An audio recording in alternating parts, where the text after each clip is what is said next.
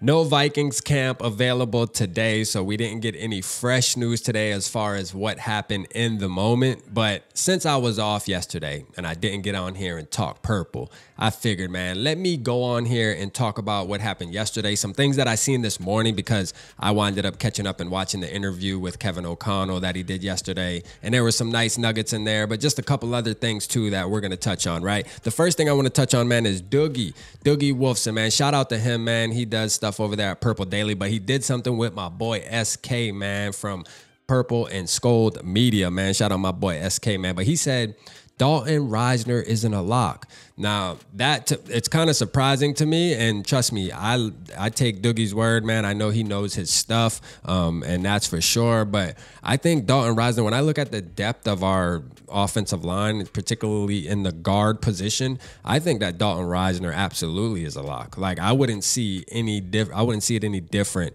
um, that he doesn't make the team or anything like that. I just think when it comes to the talent level, um, yes, Blake Brandel is definitely a name that we're looking at Ed Ingram right there. But it's like after that, who are we talking about here if it ain't Dalton Risner? I don't know, man. So that was one thing I heard, man. Another thing, which is bad news, is Robert Tonyan obviously got carted off yesterday. They said the injury was pretty bad if you're getting carted off, man. But we'll see what happens, you know, because it's and and, that, and that's kind of disheartening due to the fact that we were getting a lot of good things coming out of camp about Robert Tonyan, just saying that he was using his hands to catch the ball, just making plays, man, and maybe having that resurgence. But again, you know, I mean, things happen in football, man. We've already been getting the injury bug as Minnesota Vikings fans, and it just continues to happen. But we have, I feel like when it comes to our tight end room, we do have some depth there. So I believe we will be okay, man. I'm, I'm, I'm really curious to see how N'Keal Harry takes on that tight end position, man. I mean, haven't heard anything yet, but we'll see, man. Hopefully, as the night practice comes and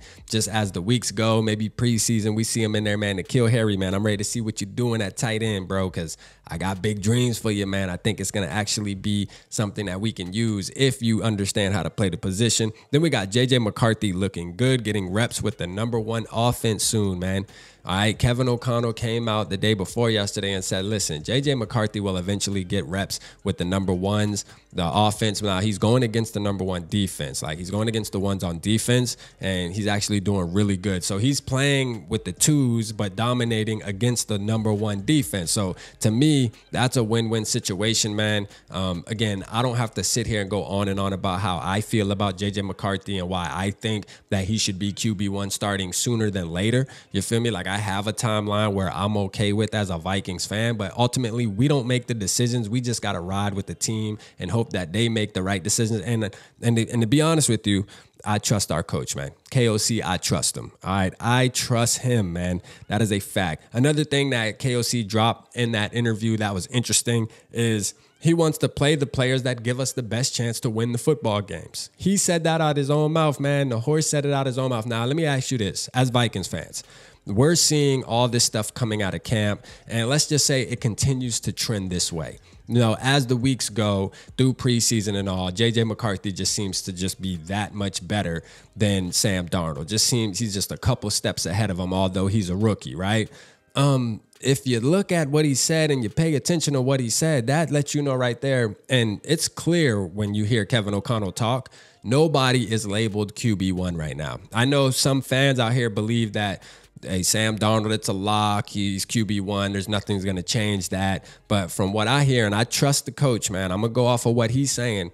Nobody has won the job yet. And if I had to guess, it seems like JJ's actually winning the job because when he's asked about the quarterback position, he usually talks JJ first, Sam Darnold second, right? And, and naturally does it. And that is also a sign that he's leaning more into JJ. And that could be because he's a rookie. He knows he's trying to help develop him and get him ready. That could be the case. But naturally, you would be talking about your starting quarterback and what you're doing to get him ready to actually win the football, not a developmental quarterback that you're looking at in the future task like of a year from now you would be talking about right now what we're doing to speed up and get Sam Darnold ready so that we can compete for the playoff. No, he's leaning into JJ, man, rightfully so, and he should.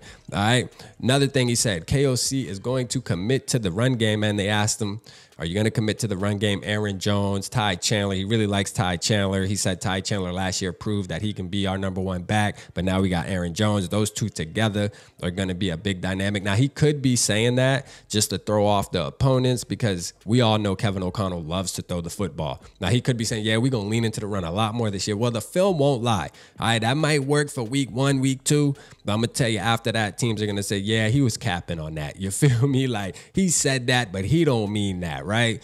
And uh, but uh, if you ask me as a Vikings fan, I hope we do lean into the run a little bit more than we did last year. We definitely need to, and I, don't think we have that much of a choice being our quarterback position, right? Because as much as I believe JJ is going to be that dude and Sam Darnold could possibly have a surge this year playing in purple, at the end of the day, both of those type, both of those guys definitely are going to need a running game to help them be the best they can be. That's just the facts. And they're gonna and we're gonna need it as Vikings fans as far as defense playing good football and running the ball. That's what we're gonna need. That's going to definitely have to be part of our formula to go as far as we want to go as Minnesota Vikings, bro. I just feel like that is the truth, right?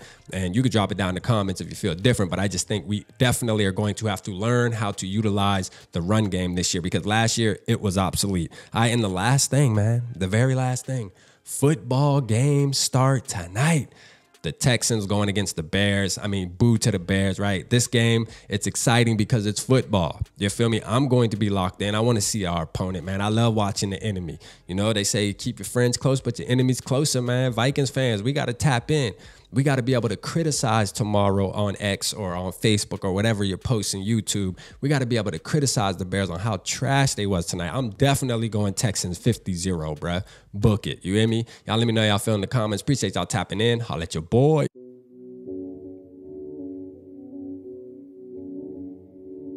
Yeah. Smooth summer. Who running? I hear them talking, but they ain't gonna do nothing. Celebration, I might have a toast with you. I'm feeling good, I'm feeling great, I'm terrific. We ain't taking no losses, we winning. Undefeated, check the percentage.